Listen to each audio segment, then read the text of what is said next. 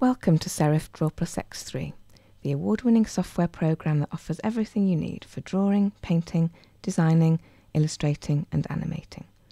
In this simple tutorial, we'll show you how to create a translucent gel web button using shapes, colour and transparency effects. Let's get started. Open DrawPlus, or if DrawPlus is already open, click File, New, New from Startup Wizard.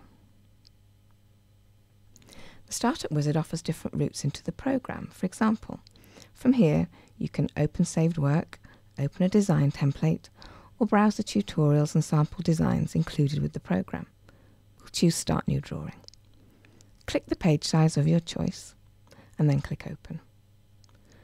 We'll begin by creating the basic shape for our gel button.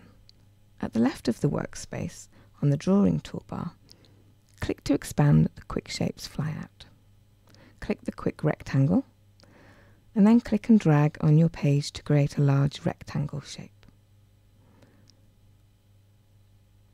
At the left of the shape you'll see a slider. All quick shapes can be edited or morphed by dragging their respective sliders. The number of sliders available and their functions will differ depending on the shape selected. Rectangles possess a single slider to control the radius of the corners. Drag the slider up to round the corners of your shape. Let's now choose a colour for our button. With the shape still selected, go to the Colour tab at the right of the workspace. Click the Fill swatch, then click a point in the outer colour wheel to set the base colour for your button. Now click inside the inner triangle to choose the exact colour you want to apply.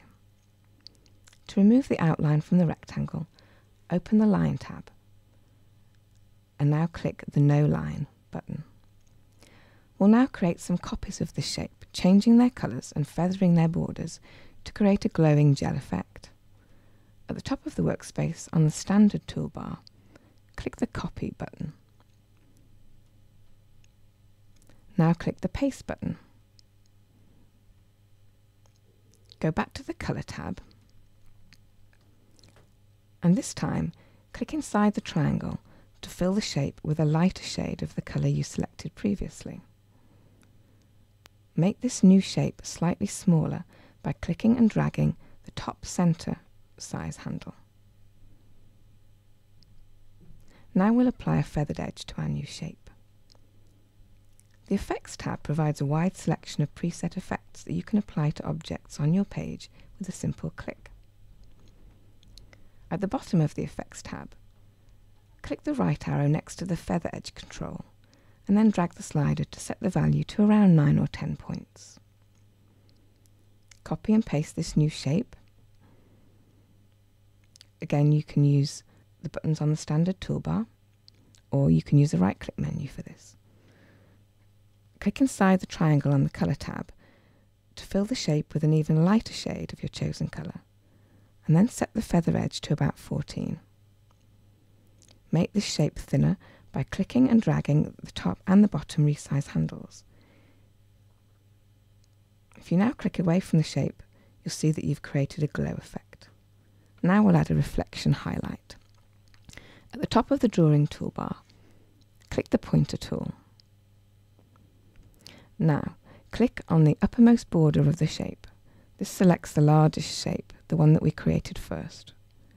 Right click and choose copy Right click again and choose Paste.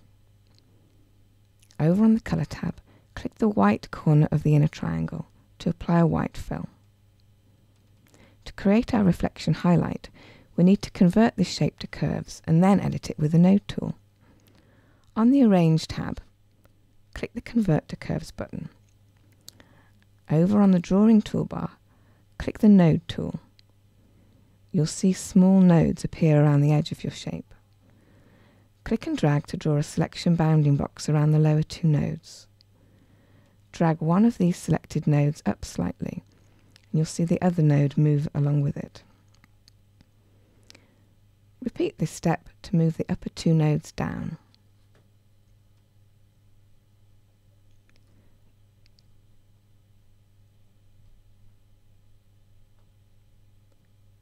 We need to make this shape slightly smaller. Over on the drawing toolbar, click the pointer tool again. Now press and hold down the control key and then drag a corner resize handle.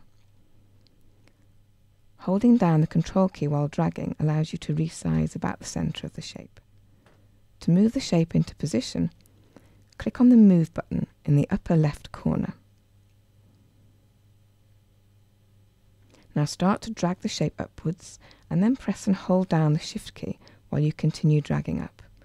Holding down the Shift key constrains movement to the vertical plane, ensuring that your shapes remain centrally aligned.